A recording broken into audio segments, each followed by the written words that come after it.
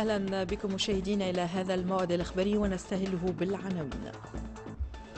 وزير الصحة يصف الوضع الوبائي بالخطير جدا وفتح مراكز جديدة لمرضى الكوفيد وأخرى للتلقيح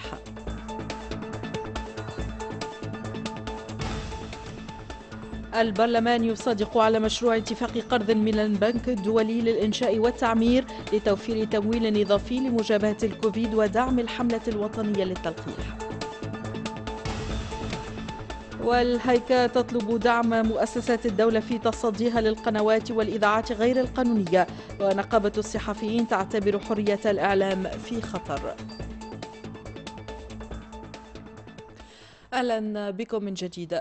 مع توصل النسق التصاعدي لعدد الوفيات والإصابات بفيروس كورونا وارتفاع عدد المقيمين بالمستشفيات ستجتمع اليوم الأربعاء بقصر الحكومة بالقصبة الهيئة الوطنية لمجابهة فيروس كورونا وسيتم الإعلان عن إجراءات جديدة للحد من تسارع انتشار الوباء. يأتي ذلك فيما يتواصل فتح مراكز جديدة للتلقيح. أمام ما خلفته جائحة كورونا من أضرار جسيمة طالت البشرية جمعاء. هب متساكنو منطقة ولاية بن عروس إلى مركز التلقيح بجهة حمام الشط بغاية تلقي الجرعة الأولى. de préférence خاطر المرض كثر حبيت نعمل vaccin تبقى أنا واحد يحتاط يا أخوي على كل شيء هكا ولا لا؟ يعني باش ما يعديش غيره. جائحة كورونا حولت اضطرارا بلدية حمام الشط إلى مركز للتلقيح وعليه أصبح هذا الفضاء الثالث التابع لولاية بن عروس مع تأمين كل الوسائل الوقائية منذ دخول المركز إلى حين خروجه. هذا المركز الثالث للتلقيح اللي حليناه في بن عروس باش يهم معتمديات حمام الشط وحمام الأنف وبومهل والزهرة. donc المواطنين اللي مسجلين في ال Evax باش يقع استدعاهم للمركز هذايا ابتداء من اليوم. وباش نعملوا حتى باش نعاونوا حتى المواطنين باش يعملوا ال inscription donc باش نعملوا بلاصة للعباد اللي باش نسجلوا باش نحثوا العباد على التسجيل. تعرف كما تعرف الجائحة قاعدة تكثر الوباء قاعد ينتشر بسرعة يلزمنا إحنا نسرعوا في عملية التلقيح. وافتتاح المركز هذا يجي في الإطار هذايا. الهدف نتاعنا هو باش نلقحوا أكبر عدد ممكن من المواطنين في أقرب وقت. بحول الله المركز هذا مركز كما تشوفوا مركز واسع بحول الله باش باش نوصلوا الوتيره معناتها كنا نعرف في, معدل 1000 شخص في النهار. بحول الله معناتها باش نفوتوا ل 1500 معناتها 1600 يوميا في ولاية بن عروس. من إحنا شفنا إنه من واجبنا إنه نكونوا طرف فاعل ونساهموا في إنه نوفروا اللي نقدروا عليه من أمور لوجستية وأمور فنية ونخليوا الأمور الصحية لوزارة الصحة باش إنه تتضافر جميع الجهود باش نشجعوا العباد إنها تلقح. أول حاجة أنه نوفروا الفضاء ثاني حاجة نوفروا التنسيق مع مكونات المجتمع المدني باش نكثفوا من الحملات التشجيع على التلقيح. هذا وأكد المدير الجهوي للصحة منصف الهواني أن الحملة الوطنية للتلقيح بولاية بن عروس تشهد انفراجا. الحملة في ولاية بن عروس تمشي بشكل جيد اليوم والحمد لله وصلنا إلى 25 ألف شخص تم تلقيحهم بولاية بن عروس وهذا نسبة مهمة جدا تقريبا من 34 ألف اللي هم في نفس الفئة هذه أو الأولوية الأولى. لقحنا 25 ألف اللي هو رقم ممتاز. وإحنا ماشيين نحو معناها إضافة مراكز أخرى. يبقى فتح مراكز للتلقيح إضافية ضد الوباء والالتزام بالإجراءات الوقائية من الوسائل المثلى للحد من انتشار فيروس كورونا ومنها تطويقه. وفي تطاوين تم افتتاح وحدة جديدة لمرضى كوفيد 19 بالمستشفى الجهوي بتطاوين. الوحدة التي شاركت في إنجازها السلطات الجهوية وأهالي الجهة في الداخل والخارج ستمكن من فتح مجال أوسع للمحتاجين للرعاية الصحية. سلمت للإدارة الجهوية للصحة وحدة كوفيد-19 بطاقة استيعاب تفوق العشرين سريرا مجهزة. في عملية ترافقت مع تنظيم عملية بيضاء تجسد كيفية إقبال الحالات المؤكدة الحاملة للفيروس والتي تستوجب الإيواء. الإمكانيات ما زالت الطلبيات بتاع التجهيزات ما زالت واردة. الآن باش نستعملوا الحالة الاستعجالية باش نستعملوا قسم الآلات والأجهزة تاع قسم كوفيد الحالي اللي تو في في العمل في المستشفى. اليوم وضعنا على ذمة الأطباء فضاء جديد مجهز قادر على استيعاب إن شاء الله المرضى. إنجاز يأتي في وقت تشهد فيه ولاية تطاوين ارتفاعا غير مسبوق في عدد حالات الوفاة والحالات المؤكدة الحاملة للفيروس في هذه الفترة بحسب الأطباء المختصين المشرفين على متابعة حالات كوفيد. اليوم تقريبا عندنا 20 مريض مقيم بقسم الكوفيد منهم أربع مرضى متاع انعاش. يعني القسم في طاقة العمل متاع 100% إن شاء الله بافتتاح القسم جديد والطريقة اللي يوقع بها الإنجاز يسمح باش نحسنوا من جودة الخدمات المسدات للمواطن. على أهمية هذا الإنجاز وما تبذله الإطارات الطبية وشبه الطبية من جهود مضاعفة في الفترة الأخيرة يبقى التزام المواطنين بالبروتوكولات الصحية السبيل الوحيد للنجاة من الإصابة بفيروس كورونا. وبهدف توفير تمويل إضافي لمشروع مجابهة كوفيد-19 ودعم الحملة الوطنية للتلقيح صادق مجلس نواب الشعب على المشروع المتعلق باتفاق قرض بين الجمهورية التونسية والبنك الدولي للإنشاء والتعمير بقيمة 269 مليون دينار. جلسة شهدت نقدا لأداء الحكومة ووزير الصحة في تطويق حجم الجائحة وتداعياتها.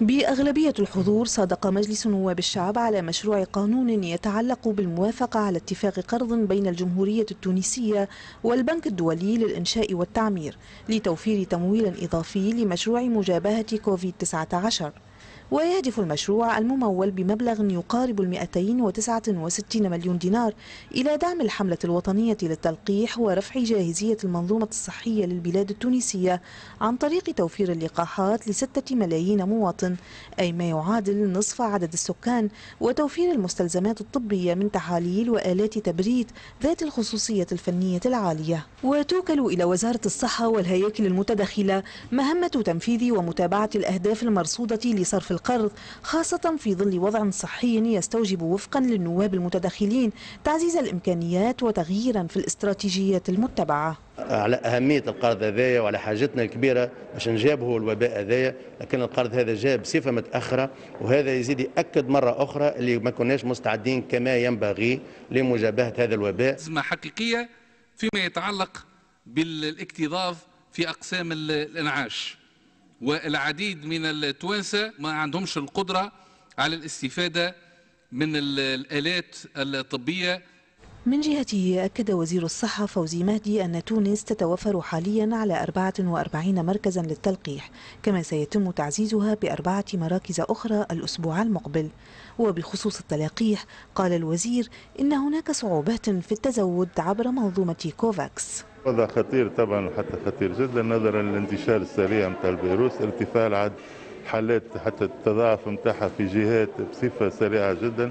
الضغط كبير على المؤسسات الاستشفائية على أقسام الأكسجين نسبة اشتغال 85% بالنسبة لأسئلة الإنعاش نسبة اشتغال 91% بالرغم اللي رفعنا في عدد أسرة وحاليا قاعدين نتسلموا في 128 جهاز تنفس باش يتم توزيعه على كافة جهات مؤسسات استشفائية. وأضاف وزير الصحة أنه تم جلب 2000 جهاز سيباب سيمكن من توفير كميات أكسجين هامة يتم بمقتضاها تخفيف الضغط على أقسام الإنعاش. واصلت لجنة الفلاحة والأمن الغذائي نظرها في مختلف فصول قانون مجلة المياه ومقارنة فصولها بمقترحات الفصول التي تقدم بها المجتمع المدني وعدد من الخبراء. بلورة مجمل فصول مشروع مجلة المياه استغرق حيزا زمنيا كبيرا قبل التوصل إلى صيغته الحالية. المقترحات اللي جاتنا بعثت لنا جمعيات المجتمع المدني والخبراء بعثوا لنا جملة من المقترحات في علاقة بمشروع المجلة. دوك إحنا اليوم نقرأ الفصل الأصلي وننظر إلى جملة المقترحات ونحاول ان نتفاعل بما يضمن آه، معناتها صياغة فصول أكثر انسجام وأكثر آه، معناتها انسجام مع مقترحات المجتمع المدني مع المنظمات حتى تكون بالفعل مجلة في مستوى الأهداف المرجوة آه، في علاقة بالتغيرات المناخية في علاقة بأفق 2050 آه، لمواردنا المائية حوكمة واستغلالا وتصرف. وفي موضوع يتعلق بالقطاع الإعلامي شدد رئيس الهيئة العليا للاتصال السمعي البصري نوري اللجمي على ضرورة تآزر مؤسسات الدولة لتتمكن الهيئة من القيام بعملها وتطبيق القانون. وذلك خلال ندوة صحفية عقدت للنظر في بعض ملفات القطاع السمعي البصري فيما اعتبرت النقابة الوطنية للصحفيين التونسيين أن قطاع الإعلام في خطر. مآل القضايا الإدارية والعدلية المرفوعة في إطار نشاط الهيئة العليا للاتصال السمعي البصري ووضعية القنوات غير القانونية والإذاعات المصادرة هي مسائل تمحورت حولها هذه الندوة الصحفية. إحنا المواضيع طبعا آه، هذه موضوع القوانين الغير القانونية راهو معضلة كبيرة برشا وقاعدة تعوق في عمل الهيئة. إذاعات المصادرة وإحنا عملنا تو منذ سنوات أنه باش يلقاو حل لإذاعة شمس. وإذاعة الزيتون القرآن الكريم عندنا سنوات وإحنا نطالبوا زادة بإلحاقها بالمرفق العمومي. ويقولوا إيه راهو ما يصير شيء. راهو مع الأسف في الحكومة الحالية فما تخلي كبير وواضح لكل ما يهم الإعلام. تم الإعلان خلال هذه الندوة الصحفية على تكوين آه، فريق آه، عمل آه، متكون من مجموعة من الخبراء مختصين يعني في القانون ويعني في الإعلام باش يكون مهمتهم حول يعني القنوات غير القانونية. وحول ما اعتبره رئيس الهيئة العليا للاتصال السمعي البصري منحى خطير في قطاع الإعلام في علاقة بقضية حجز معدات إذاعة القرآن الكريم شدد نور اللجمي على ضرورة تآزر مؤسسات الدولة لتتمكن الهيئة من القيام بعملها في إطار تطبيق القانون.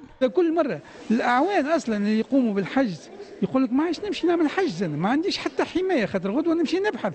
غدوة فيها بطاقة إيداع. مؤسسة الدولة تقدم الدعم. مثلا وزارة المالية. القناة هذه غير قانونية. من 2014 عمرها ما خلصت خطيب. علاش؟ النقابة الوطنية للصحفيين التونسيين اعتبرت أيضا أن قطاع الإعلام في خطر وأن حرية الصحافة مهددة من جميع الجهات. اعتبروا أنه تو إحنا قاعدين نعيشوا في وضع آه، آه، الحكومة فيه يعني تسعى للسيطرة على الوسائل الإعلام من خلال التعيينات. البرلمان يسعى إلى مصادقة على تشريعات مخالفة ومنافية لحرية الصحافة وتهدد حرية الصحافة والتعبير. آه، أيضا النيابة العمومية شفنا كيفاش في الفترة الأخيرة في في استدعاء يعني رئيس الهيئه الاتصال السمعي البصري وأعضاء من من مجلس الهيئة شفنا كيفاش أنها آه، آه، انحازت بطريقة مفضوحة وخطيرة إلى السيد. هذا كل يعني مع بعضه يخرج إنه حرية الصحافة والتعبير مهدده انه المشهد آه، تعديل المشهد السمعي البصري وتنظيم المشهد السمعي البصري مهدد. وستنطلق الهيئة قريبا في أعداد دراسة لتقييم المشهد السمعي البصري لمزيد تنظيم عملها واضفاء جودة على الإعلام السمعي البصري وتكريس ضمان حرية الإعلام. ضمن جولتنا الإخبارية العالمية وفي جديد الملف الليبي اعتبرت نائب وزير الخارجية الإيطالية مارينا سيريني أن عملية الاستقرار في ليبيا دخلت مرحلة حاسمة مضيفة أن إجراء الانتخابات في موعدها يمكن أن يكون نقطة تحول حقيقية لوضع حد للأزمة التي أثرت في هذا البلد. وشددت سيريني على التزام إيطاليا بتعزيز العلاقات الثنائية مع ليبيا ودعم عمل الأمم المتحدة في هذا هذا الملف. في الولايات المتحدة الأمريكية من المنتظر أن يلقي اليوم الأربعاء الرئيس الأمريكي جو بايدن خطابا بمناسبة مرور 100 يوم على تسلمه السلطة في العشرين من شهر جانفي الماضي وفوزه في الانتخابات على نظيره دونالد ترامب بعد تقديمه خطة وصفت بالطموحة لمواجهة فيروس كورونا وتفادي تأثيرها السلبي على أكبر اقتصاد في العالم.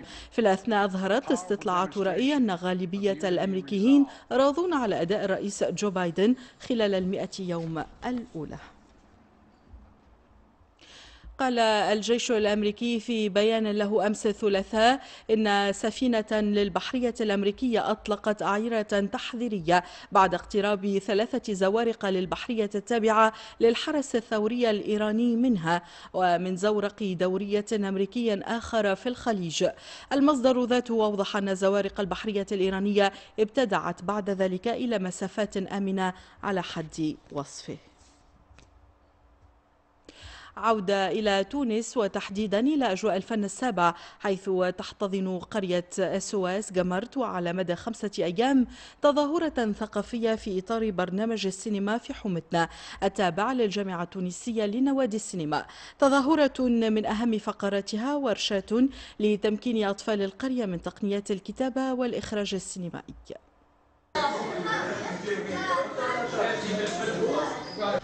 هي مشاهد من أحد الأفلام التي تم عرضها في إطار برنامج السينما في حومتنا هذا البرنامج الذي حط الرحال بقرية أسوس بجمرت بعد جولة في عدد من ولايات الجمهورية سيمكن أطفال القرية من تعلم تقنية صناعة الأفلام القصيرة من خلال ورشة عمل تمتد على مدى خمسة أيام. ورشة في تقنية stop motion آه، الحقيقة نمر بكل مراحل صناعة الفيلم. معنا في الورشة هذه من كتابة السيناريو للإخراج للتصوير وللمونتاج. معناها ورشة تمتد على خمسة أيام. آه، الاختتام في الآخر يكون بعرض الأعمال اللي ينجزوها الصغار هذوما. ولأن العمل السينمائي ينطلق من فكرة فقد قدم الأطفال المشاركون في الورشة جملة من الأفكار وعبروا عن الدوافع النفسية والاجتماعية التي تحثهم على ترجمة ما يختلج صدورهم إلى أعمال سينمائية. نحب نعمل فيلم على لسويس خاطر باش نبدل باش نبدل نظرة المجتمع للصغار اللي يعيشوا لنا. نحب نعمل فيلم تاع كورة خاطر أنا نحب نولي كوارجي ونحب الكورة.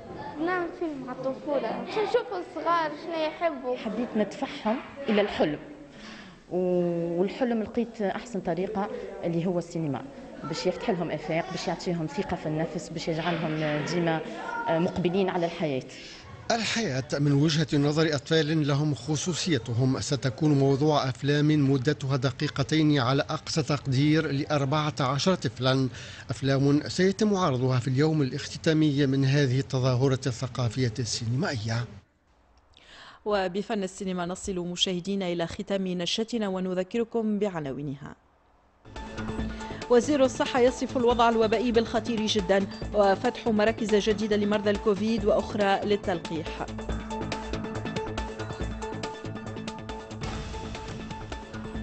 البرلمان يصادق على مشروع اتفاق قرض من البنك الدولي للإنشاء والتعمير لتوفير تمويل إضافي لمجابهة الكوفيد ودعم الحملة الوطنية للتلقيح. والهيكة تطلب دعم مؤسسات الدولة في تصديها للقنوات والإذاعات غير القانونية. ونقابة الصحفيين تعتبر حرية الإعلام في خطر. وكالعادة مشاهدينا بإمكانكم متابعة هذه النشرة وغيرها من الأخبار على بوابة التلفزة التونسية. نشكر متابعتكم وإلى اللقاء.